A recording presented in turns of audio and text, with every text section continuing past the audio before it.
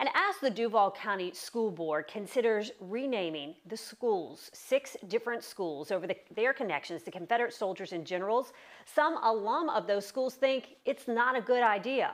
On your sides, Robert Bradfield spoke with a graduate about, of Robert E. Lee High School about why he thinks the name should stay as it is.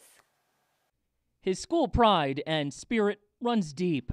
Robert Lawrence is an alum of Robert E. Lee High School, class of 1980. When we think back, people say, Where'd you go to school? You went to Robert E. Lee High School. During his senior year, Lawrence was the school's mascot, the General, often appearing at football games. And even after graduation, he says he always felt a sense of accomplishment from where he went to school. Have a rich history of uh, graduates from there who've gone on to do a lot of good things in the community and, and, and, and more. Which might explain why Lawrence does not want to see the school's name changed. Nothing illustrates more, in my opinion, how far we've come as a society when it comes to the race issue.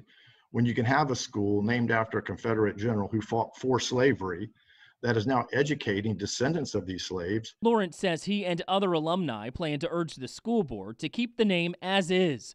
The process to consider any name change will likely start in the fall, according to the superintendent. There will definitely be a movement to prevent that from happening, you know, uh, and it could be a very strong movement. Robert Bradfield, First Coast News, on your side.